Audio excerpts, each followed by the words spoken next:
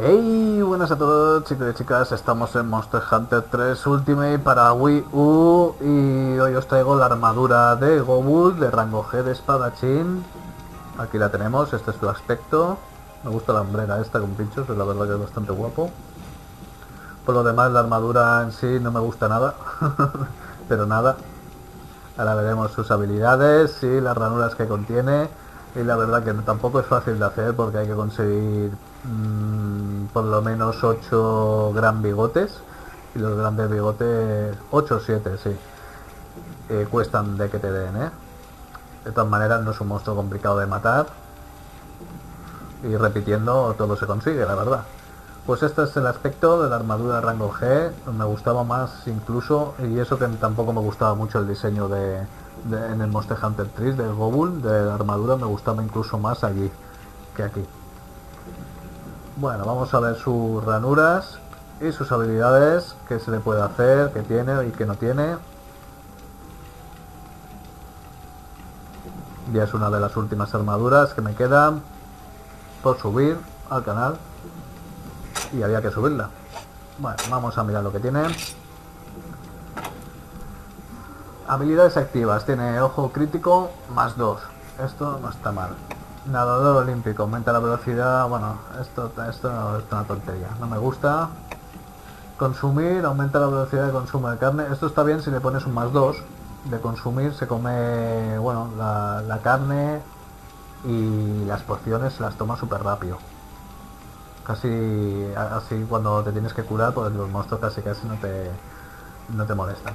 Eh, y habilidad negativa vemos que tiene velocidad de recuperación menos 1.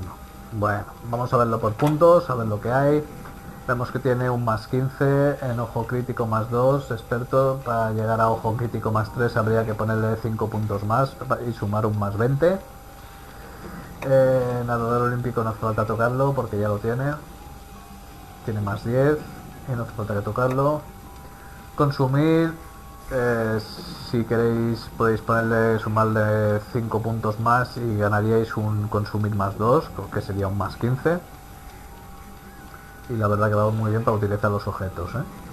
Se os toma súper rápido en la mayoría de los objetos.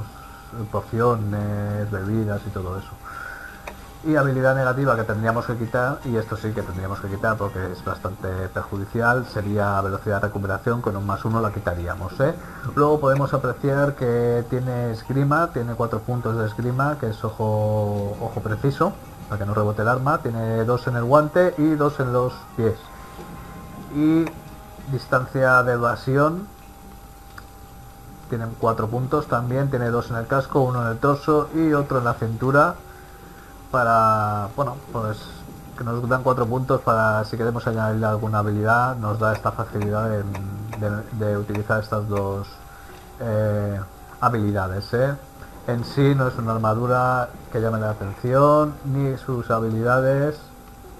Vamos a ver sus ranuras. Si por lo menos tiene bastante, pues sí que se podría hacer cosa.